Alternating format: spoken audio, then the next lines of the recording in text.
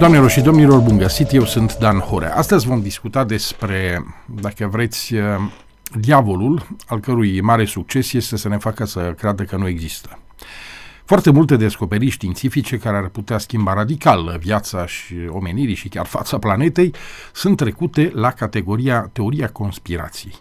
Mai lăsăm la o parte faptul că cei mai aprigi susținători ai teoriei conspirației sunt conspiratorii înșiși, dar în acest caz e vorba de un fel de, de crimă împotriva umanității. Sunt multe descoperiri vitale, altele țin mai mult de, hai să spunem, tehnica generală, unele de entertainment, dar sunt multe descoperiri care ar rezolva parte importantă din problemele lumii și cu toate astea sunt ținute sub obroc din interese pur meschine. Cine sunt interesați de chestiunea asta? Evident, marile multinaționale. Oricum o sucim, orice o învârtim, tot la multinaționale ajungem, din păcate. O să discutăm așadar despre niște descoperiri științifice extraordinare ținute sub obroc cu domnul Sorin Budu, asistent universitar la Politehnica, mă rog, Universitatea Tehnică din Cluj-Napoca. Am rămas cu vechea denumire. Bine ați venit la noi. Bine v-am găsit. Spuneam că diavolul este fericit când reușește să ne facă să credem că nu există. Cine, totuși, spuneam eu de multinațională, dar există vreo un exemplu în care se cunoaște cine a blocat apariția unei mari descoperiri? Uh, da, sunt câteva exemple. De exemplu, Nicolae Tesla, Nicola, unii zic Nicolae, zice că fi fost din uh, familie de români, e nesemnificativ asta. Exact. Este cel care, practic, a pus pionierul a foarte multe din aplicațiile pe care le avem acum, inclusiv wireless-ul, care au și făcut în formă rudimentară și l-au testat, deci transmite energie fără fir la distanță. Evident că laboratorul lui și turnul respectiv de la Wordcliff au luat foc întâmplător, Nikola Tesla a făcut uh, primul autovehicul electric care mergea consumând nimic, teoretic, un dispozitiv care mai se mai spunea convertor de cuplu, o antenă de 1,80 m și 80 care ieșea din spatele unei cutii în care erau niște tuburi, niște pentode pe vremea aceea și altele despre care nu știm, un, uh, o mașină care se deplasa cu 100 de km pe oră, umblat în Boston vreo 6 luni de zile, prin anul 1930-31 dacă rețin bine, iar finanțatorul lui, domnul Morgan, ah. cu urmașii Stanley Morgan, care dau acum ratingurile pentru o țară dacă e apt combatant, aptă combatant sau nu, da.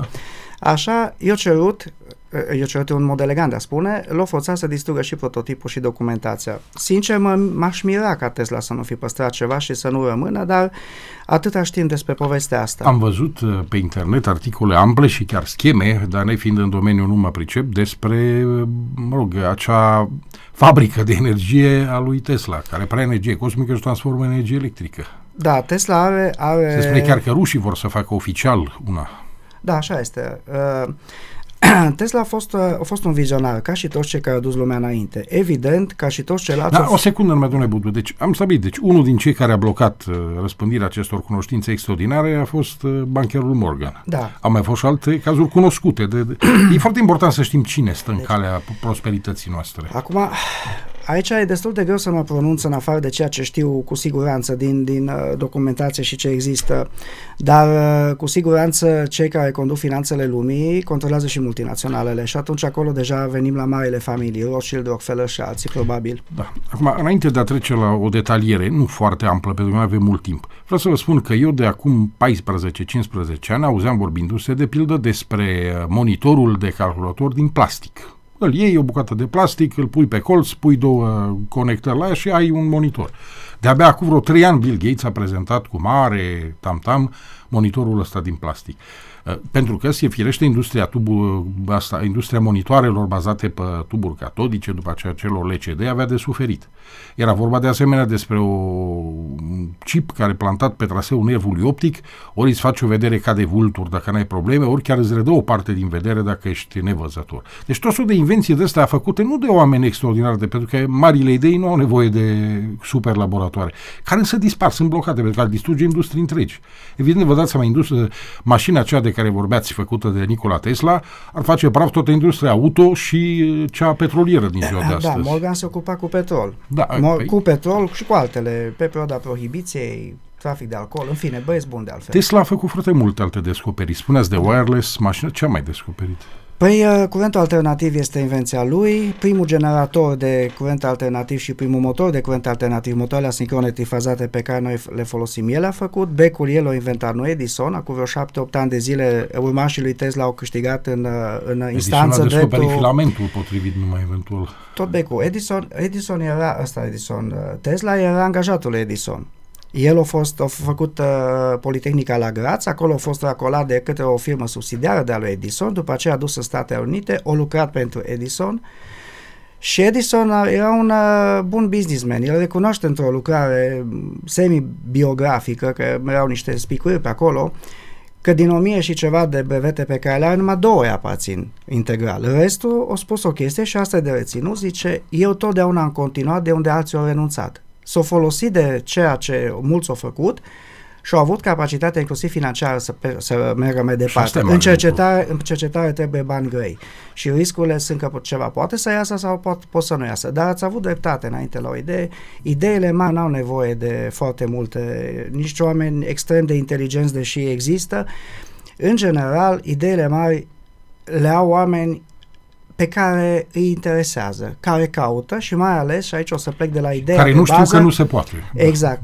Am și scris, mi-am făcut aici o notiță, ar trebui să scoatem din vocabular cuvintele nu se poate sau este imposibil. Și o să dau un citat din Biblie. Orice este cu putință celui ce crede. Orice. Și mai zice acolo, caută și vei găsi. E valabil și la Dumnezeu, e valabil și la lucrurile astea. Când te pasionează ceva și cauți, până la urmă vin. Einstein a visat formula relativității. Sigur că el s-a ocupat în timp de ea, dar nu, n-a ajuns niciun rezultat, o visat-o. Toată teoria relativității o scris-o în patru pagini, dacă țin bine minte. Nu ni se cer la doctorat acum Are 200 strânsă. de pagini obligatoriu, unde trebuie să scrii ceva. Poți să faci un doctorat în 10 pagini, dar să fie de valoare. Bun, acum doctoratele sunt un subiect care merită o altă abordare da. în altă emisiune. Da. Să ne întoarcem la aceste descoperiri extraordinare, dar care au rămas în, în, în umbră. Ce ar mai fi de pomenit aici? Deci Tesla cu ale lui deosebite invenții. Cine a mai fost aici remarcat? Uh, sunt mulți. Există sute de brevete, de brevete patente făcute foarte multe în Statele Unite și nu numai, dar o să amintesc câteva, unele cunoscute și altele mai puțin cunoscute. Este un, a fost, pentru că a dispărut. Un cercetător, profesor universitar la Massachusetts Institute of Technology, la MIT, Bruce de Palma îl cheamă, uh, a cărei lucrări sunt revoluționare pentru că merg la esența de unde scoți și cum poți produce energie gratis, energie liberă. Că e o obsesie energia asta peste tot. Este pentru că de acolo deja, pornește totul. De acolo pornește totul și cine, cine poate controla energia, controlează și lumea. Cine nu, în momentul în care oamenii devin liberi energetic, atunci deja, să zicem, pot deveni și liberi din alte puncte de vedere. Orbus de Palma a făcut un, uh, plecând de la discul lui Faraday, care este un dispozitiv foarte interesant. E un disc, uh, este un disc de aluminiu sau de cupru pe care se lipește, se fixează un magnet și este învârtit cu un motoraș pe axul lui. Numai că pe spatele discului este o bobină de tip spiral și poate într-o întâlnire următoare să ajungem la formele geometrice captează anumite tipuri de energie. Lucru pe care l-am experimentat, am și proiectat niște bobine pentru telefonie mobilă și pentru alte, alte aplicații și funcționează. Uh, acest disc, odată ce este învârtit cu o anumită turație, între extremitatea discului și ax se captează energie. Culmea este că poate ajunge până la de două ori tensiunea, deci tensiune electrică, de două ori tensiunea de alimentare, ceea ce înseamnă că la un moment dat el se poate autoalimenta singur. Și am ajuns la un perpetuum mobile de speța Are nevoie de un, impul, de un impuls inițial? Și la început aceea... îi trebuie turație, da. merge un pic și după aceea, după ce se stabilizează fenomenul, la o anumită turație el deja se poate autoalimenta singur. Bruce de Palma a făcut o mașină, este brevetată, funcțională, în Statele Unite, se numește The N Machine, mașina N, e o mașină care merge pe ideea de a folosi mai multe discuri de astea de în paralel, în, așa în mare și funcționează. Dar ce fel de energie captează? De unde? Energie electrică. Este din spațiu. Noi suntem scufundați A, din, din, din mediu. Noi suntem scufundați în niște câmpuri de natură electromagnetică. Inclusiv câmpurile gravitaționale sunt de natură electromagnetică, chestii care acum, nu de mult, de două, trei săptămâni au apărut pe net că s-au găsit undele gravitaționale, dar sunt unde spațiu-timp, adică ele pot comprima și dilata și spațiul și timpul. Ceea ce zicea și Einstein, că spațiul și timpul sunt relative, sunt curbe de fapt. Mai bine zis, sunt sferice, poți să fii oriunde, oricând. Teleportările se practică tehnologică, spunea. S-a reușit teleportarea unei mii particule, am înțeles. S-a reușit deja. teleportarea controlată din 1953. Da, și acum se și prezintă. În 47 da. a fost experimentul Philadelphia, acolo a fost întâmplător, nu era controlat. După, în 53, Marina uh, americană a anunțat că controlează. Ei, această mașină produce, are un randament de 400%, dar sunt și altele. Eu aș da un exemplu, în lumea științifică se spune că perpetuum mobile nu există. Dacă nu există ceva, cum îi dai trei denumiri diferite? Perpetuum mobile de speța 1, de speța 2 și de speța 3. Cum definești nimicul?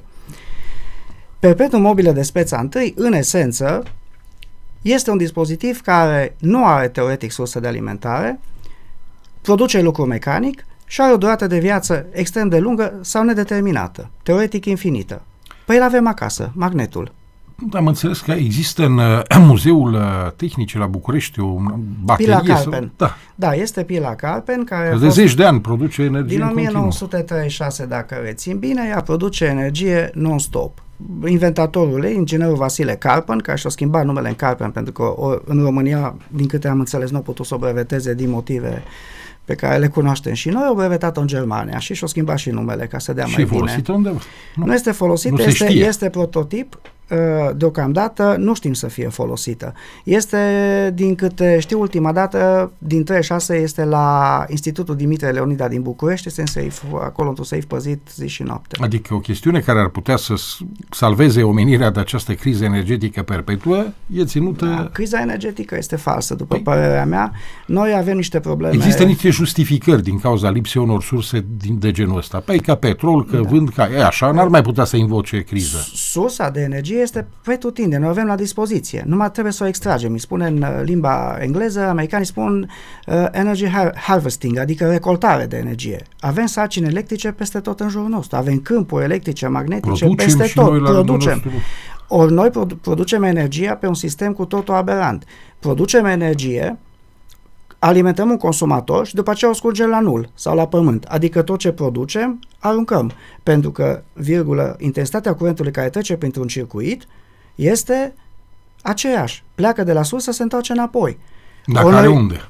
Și o scurgem. Da. Și atunci o plătim non-stop. Dacă mergem și mergem pe sisteme care se pot alimenta din unul în altul, pentru că nu există câmp electric și câmp magnetic separat. Există numai câmp electromagnetic cu două componente. În funcție de mediu și de dispozitivele pe care le folosim, a, producem, să spunem, mai mult câmp electric sau mai mult câmp electric. Problema este că ele tot timpul lucrează în tandem. Eu dacă bag, de exemplu, în priză o bobină, cel electric ea îmi produce magnetic. câmp magnetic, da. Câmp magnetic care se disipă în jurul lui, cum e la linie de altă tensiune. Da? Acolo, dacă bagi, de exemplu, un conductor, legea inducției pe baza care funcționează motoarele, o să o spun o formă mai populară așa, da. zice așa,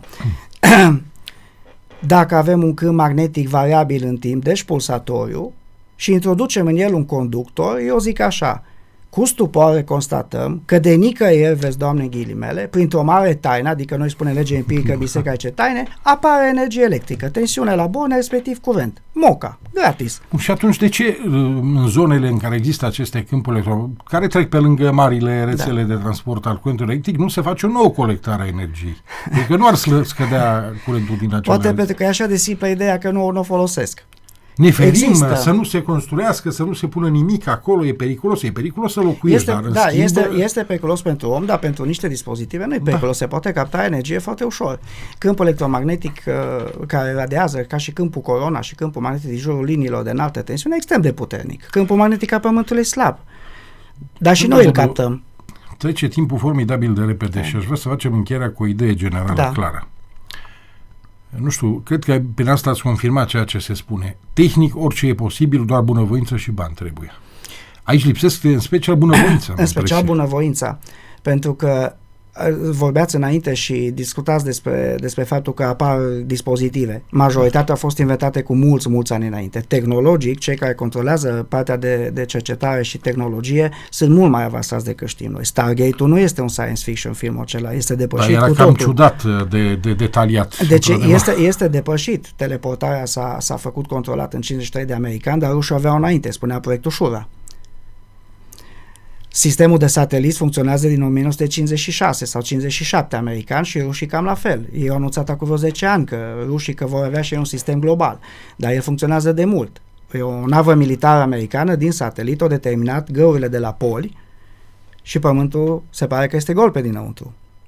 Nucleul este un soare central. Aici e interesant. În momentul în care spui niște chestiuni care fizic și științific sunt perfect posibile, automat ești catalogat drept conspiraționist, susținător al teoriei conspirației. De ce? Nu, de obicei nebun și după aceea te trezești că zbori de pe unde ești. Da. De ce să nu știm chestiunea asta? Acum a venit de Aici... pildă doamna Hillary Clinton, spune dacă voi câștiga alegerile, voi da pe goarnă tot ce să știe despre OZN-uri. Interesant, dar deci prin asta admite că sunt OZN-uri, de fapt. Deci, în, uh, acum în în, suntem în 2016. De ce lumea nu e pregătită să afle chestii de genul ăsta? Sau de ce se ține totul secret?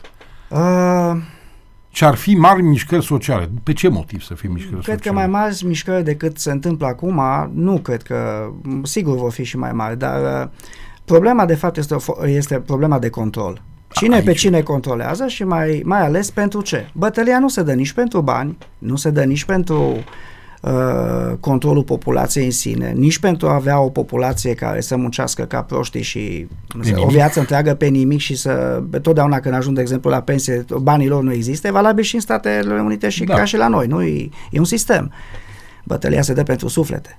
Ați început la început când a zis că diavolul încearcă să ne facă să credem că nu există. Asta dar, lui Victoria. Da, dar există. Există pentru că, poate vom mai discuta și pe partea asta, toți mari inventatori, toți au spus că Dumnezeu este originea și sursa la toate da, lucrurile. O nouă chestiune care nu e pomenită pentru că dă peste cap uh, omul e centrul universului, da. Da. Mulțumesc tare mult, domnule Budu. Și eu vă mulțumesc foarte o mult. O să reluăm discuția cu proxima ocazie, pentru că sunt foarte multe de discutat pe tema asta da. și chiar merită oamenilor să li se spună. Domnilor și domnilor, o zi frumoasă! Vă mulțumesc!